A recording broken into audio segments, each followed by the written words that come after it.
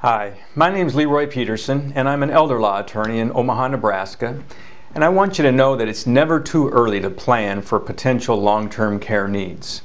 According to the Department of Health and Human Services, 70% of adults age 65 and older will eventually have some long-term care needs and nursing home costs can be significant. In Omaha, Nebraska, costs are around $72,000 per year for a private room rate and $64,000 for a semi-private room.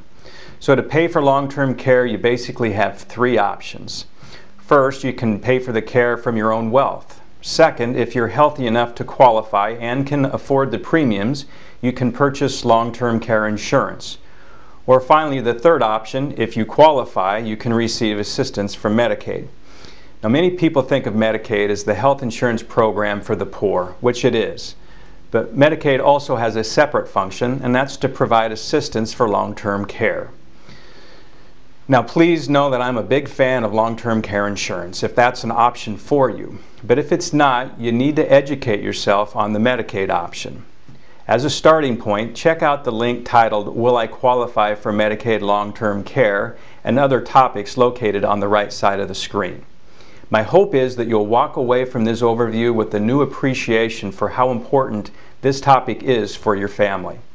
For decades now, the marketing messages have conditioned us to plan for the retirement we're told that we deserve, that we deserve.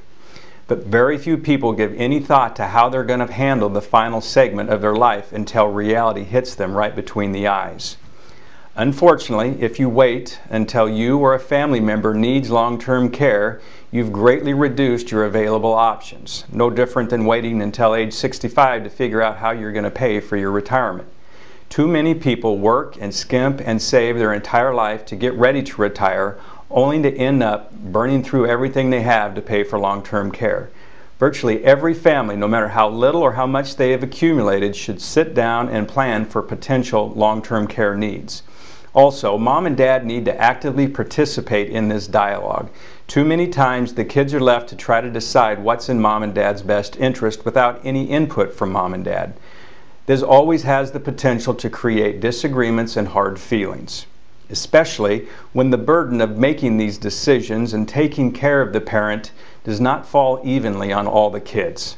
It's not about saving money to give to the children someday. It's about making sure you can maximize and preserve the resources you have to provide the necessary care to help you live and age with dignity.